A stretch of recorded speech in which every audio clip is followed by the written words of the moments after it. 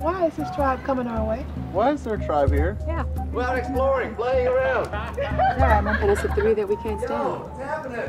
Are you gonna welcome us into your home or not? I didn't like it at all. I don't think they should be on our island. This is our turf. This is our territory. They, they got their own island. You guys wanna work together to get some coconuts? We'll split with you. No.